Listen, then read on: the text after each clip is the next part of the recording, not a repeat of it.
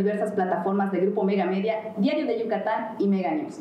Mi nombre es Isabel Montero y hoy estamos en compañía de la licenciada Laura Fernández Piña, candidata a la gobernatura de Quintana Roo por la coalición Va por Quintana Roo, integrada por PAM, PRD y Confianza por Quintana Roo.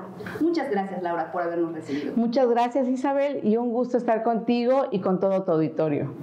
Laura, mucha gente se pregunta, ¿quién es Laura Fernández? Laura Fernández es una quintanarroense por convicción. Tengo 25 años viviendo en este maravilloso estado. Elegí Quintana Roo para vivir, para formar una familia, para ser madre de dos maravillosos hijos. Tengo una pequeña de 18 años, un joven de 22, quintanarroenses, y llevo 23 años trabajando en el servicio público, con cargos municipales, cargos estatales y federales, cargos administrativos y cargos de elección popular. En el caso de Laura, ¿qué dice tu familia? ¿Cómo te apoya? Mi familia está eh, apoyándome. Creo que el pilar para poder desarrollarme, para poder entregarme, para poder dar resultados, es tener una relación sólida con mi esposo, con mis hijos, de comunicación total y siempre he contado con el apoyo de ellos. ¿Cuáles serían los tres objetivos de tu campaña? El, el primero yo creo que es el generar piso parejo para todos, que tengamos un desarrollo social sostenido para todo el Estado. Uno de los puntos más importantes es la salud, que todos los quintanarroenses tengan derecho a la salud. Es un derecho de los mexicanos y será también un derecho de los quintanarroenses. Por ello vamos a crear el programa de Seguro Popular Estatal. Aquel seguro popular que funcionaba antes de parte del gobierno federal, hoy lo vamos a crear como parte fundamental de un eje que va a brindar eh, la salud a todos los quintanarroenses, generar condiciones que generen empleo, que generen derrama económica, por ejemplo, el poder vincular el campo quintanarroense con el sector turístico, que los productos quintanarroenses puedan desplazarse en todos los centros turísticos que tenemos en Quintana Roo, establecer esos vínculos comerciales, ampliar la cadena productiva del campo y que podamos darle esos impulsos y que haya empleo en todo Quintana Roo y ese piso parejo en el ingreso familiar. Eh, quedaron parados algunos proyectos como el parque industrial. De ganar, ¿qué harías? ¿Se frenaría? Eh, ¿Invertirías? ¿Cuáles serían las acciones Generar la sinergia entre los sectores productivos de nuestro estado es muy importante. Si se da o no el parque industrial será porque sea la estrategia adecuada que se esté planteando ahora, después de la pandemia, en una reactivación económica con el sector productivo de nuestro estado, incluyendo el sector turístico, el sector comercial, el sector, eh, por supuesto, de la industria de la construcción y, lo más importante, el campo. ¿Cuáles son los eh, retos de trabajo que crees tú que deberían de tener continuidad? El más importante yo creo que es el de la seguridad importante y urgente, acompañada de mejores policías porque están más capacitados, mejor remunerados, eh, con sus pruebas de control y confianza, con una coordinación real entre todas las Fuerzas Armadas, las corporaciones policíacas, que podamos generar esas condiciones no nada más en las carreteras, sino también en las colonias, reactivar las casetas eh, policíacas, los rondines, equipos mejores, con mayor tecnología, mejores patrullas, más equipadas y por supuesto un personal preparado para atender a los ciudadanos. ¿Cómo ves tu relación con los medios? Muy bien, cordial, pues vengo de, ahí, soy eh, mercadóloga. Cuando llegué a vivir a Cancún, eh, formé la primera agencia de publicidad en, Cancún, en Benito Juárez. La, primera puerta que yo toqué fue la de los medios de comunicación y los entiendo perfectamente bien. Mi gobierno no generará ninguna censura a los medios de comunicación. Nunca en ningún cargo que yo he estado he censurado algún medio de comunicación. Es muy importante tener esa libertad porque la libertad de expresión genera los equilibrios y brindarle la protección a todos los periodistas, a todos los comunicólogos, a todos los medios de comunicación será una prioridad en mi gobierno. ¿Cómo te sientes con respecto a la elección? ¿Estás confiada? Eh, no, de ninguna manera. La, elección, la, carrera no se acaba hasta que se acaba. El 5 de junio será eh, la gran encuesta, la encuesta en donde todos los quintanarroenses expresen su sentimiento, cómo quieren ser gobernados los próximos cinco años. Siento confianza en las propuestas que tenemos. Siento confianza en la trayectoria que tengo y en las bases que tengo para poder tener la mejor oferta para todos los quintanarroenses. Una oferta que brinda experiencia, que brinda capacidad, que brinda compromisos. Aquí no cabe la improvisación. El equipo que estamos conformando, que está dando la cara en la campaña de Laura Fernández, es un equipo responsable, son quintanarroenses todos, nadie viene de fuera, son personas que quieren a su estado, que tienen la experiencia, que la gente los conoce y yo estoy segura que haremos un muy buen gobierno porque tendremos un gobierno de puertas abiertas. Es muy delicado no tener servicios de salud en las islas. Imagínate cuando una persona sufre un infarto a medianoche, cuando ya no existe el transporte público para salir de las islas, no existen hospitales generales en las islas, no hay una atención con abasto de medicamentos, médicos para poder hacer una intervención de, emergencia. Y así podemos ir platicando muchos temas, por ejemplo, las mujeres trabajadoras, somos mujeres, yo en mi caso he sido pilar de, de mi hogar muchos años, he sido proveedora del hogar, proveedora para mis hijos, para mis padres, y yo veo con tristeza que ya no tenemos guarderías de tiempo completo. Vamos a regresar las guarderías de tiempo completo para las mujeres que trabajan. Vamos a regresar las escuelas de tiempo completo con sus desayunos con, eh, calientes para que nuestros niños puedan alimentarse bien, estudiar bien y que después de los estudios hagan la tarea. Cuando empezaron las campañas estabas en un peldaño. De repente en las últimas encuestas, que en época de elecciones surjan muchas encuestas, bajas de ese peldaño. Eh, visualmente, ¿no? Todavía no se han dicho el resultado final. ¿Crees tú que esto pudiera estar afectado por el cambio de partido que has tenido en tu trayectoria? ¿O cuál sería tu estrategia para repuntar? Fíjate que las encuestas, en lo que tengo de experiencia aproximadamente de 23 años en campañas, las encuestas son de quienes las pagan. Y si tú te vas, te invito a que cheques las encuestas de hace seis años quiénes decían las encuestas que iban a ganar y quién ganó.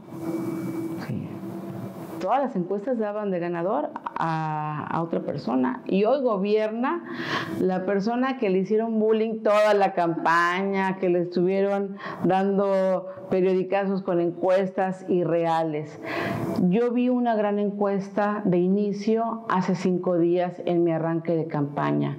Un arranque de campaña espectacular, como pocos ha tenido Quintana Roo, donde se dio una expresión de gente de más de 10 mil personas ahí confluidas en, el monumento del Renacimiento, en donde vimos no nada más esa concentración de gente, vimos el ánimo de la gente, la gente contenta, sonriendo, ovacionando el proyecto que tenemos, que encabezamos. Y, y esa es la mejor encuesta de arranque. Son malas las comparaciones, pero en campaña se vale comparar. Date una, una vista en la campaña de enfrente. Vimos una poca concentración con gente apática que tuvieron que pagar para poder medio llenar. Ahí está la encuesta de arranque la encuesta la veo todos los días cuando toco las puertas de los ciudadanos en cada uno de los municipios y salen y nos reciben con alegría y nos piden que no dejemos, que no claudiquemos, que, que sigamos trabajando, conquistando a la gente. Es más, esas encuestas en donde se ponen de ganadores y bueno, con una diferencia abismal, le pica la cresta a los quintanarroenses. Nos están ayudando a que cada vez más personas se vengan de este lado y digan, por favor, no, no queremos que un gobierno como el que se tuvo en Cancún se vaya a tener en Quintana Roo, porque hoy Cancún sufre, hoy Cancún llora, llora la muerte de jóvenes en el Boulevard Colosio por no tener un gobierno que escuche y que haga un puente peatonal que les están pidiendo, porque no reparan la Colosio a pesar de que se han comprometido.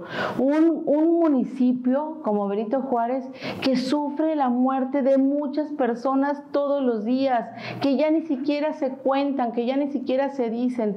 No perdamos la capacidad de asombro, no perdamos esa capacidad de asombro, porque todos venimos a Quintana Roo a formar una familia para que vivan seguros, para que vivan con oportunidades, para que se puedan desarrollar. Hoy la gran encuesta la tiene cada quintanarroense que dice no, no queremos eso, no queremos que personas con intereses particulares quieran apoderarse de Quintana Roo para hacer sus negocios, para poner sus posiciones con gente que viene de fuera a ocupar las posiciones de los quintanarroenses. Nosotros no sabemos gobernar, nosotros sabemos tomar nuestras propias decisiones. Vamos a retomar esa historia de la guerra de castas, donde esta, este pueblo maya luchó contra los españoles, peleando esa independencia. Y aquí en Quintana Roo se ganó, ahí en la zona maya, en Carrillo Puerto, donde se dio esa guerra de castas, donde se dio esa lucha. Hoy cómo está olvidado, abandonado de los, de los gobiernos, porque no llegan los apoyos, porque los caminos no sirven, no están bien, les cuesta trabajo llegar a sus comunidades, eh, los campesinos les cuesta trabajo sacar su cosecha, porque el gobierno federal dejó de llevar el programa de empleo temporal de caminos a cosechas y hoy los caminos están enmontados, están llenos de hierba, los camiones no pueden pasar para sacar el producto, la caña los limones, las papayas, las piñas, las sandías. Vamos a reparar en los primeros 100 días todos esos caminos saca cosechas con el empleo temporal, con presupuesto estatal. Vamos a rehabilitar las escuelas. ¿Cómo están? Yo les pregunto a todos, ¿cómo están? Están abandonadas, vandalizadas, porque en el confinamiento la, eh, la delincuencia se apoderó de todo lo que estaba abandonado. Fueron nido de delincuentes y hoy nuestros jóvenes, nuestros niños no pueden regresar a clases con escuelas dignas, en donde ellos se sientan contentos de estudiar, de aprender. Vamos a generar esas condiciones. Yo creo que Quintana Roo merece un gobierno responsable, no una bola de improvisados, no una bola de interesados, no los tramposos que se esconden atrás de una marca que está de moda y que a la hora que llegan ocupan y acaparan esos lugares y desplazan a los de esa marca y se quedan ellos posicionados y me refiero al Partido Verde. Creo que hoy es el momento de actuar, que no se confundan, que se, se genere ese voto útil. Lo mejor que le puede pasar a Quintana Roo y a los morenos en particular es que gane la alianza Va por Quintana Roo, que gane Laura Fernández. Yo no soy enemiga de los morenos, soy gente respetuosa de todos los institutos políticos, pero hoy Morena está secuestrada por el verde, porque los mandan para adelante a trabajar, los mandan a chambear para ganar elecciones y luego los hacen a un lado, los relegan, los dejan en la banca y los verdes son los que ocupan las posiciones ocupan, porque parece que aquí pues la franquicia ya se apoderó del Estado, no los vamos a dejar llegar. Habemos más que queremos un mejor Quintana Roo, un Quintana Roo gobernado por los quintanarroenses, que se vayan a sus lugares de origen los que vienen de fuera y que quieren apoderarse de este Estado. Lo digo con el corazón y mira, te puedo decir que en 23 años de servicio público, en 23 años de campaña, jamás habían escuchado un discurso de parte de Laura Fernández como es. Pero yo tengo que ser la voz de muchos quintanarroenses, de miles quintanarroenses que piensan lo mismo que yo, que están viendo lo mismo que yo y que hay quintanarroenses que no se han dado cuenta de lo que está pasando. Hoy Quintana Roo tiene una amenaza, pero nosotros le vamos a poner ese alto y vamos a hacer que los próximos cinco años sean cinco años de prosperidad. Yo soy Laura Fernández y me comprometo con todos los quintanarroenses a hacer el mejor gobierno para ustedes, para sus familias y que podamos tener esas oportunidades, esas mejores oportunidades que queremos para nuestros hijos y para las nuevas generaciones.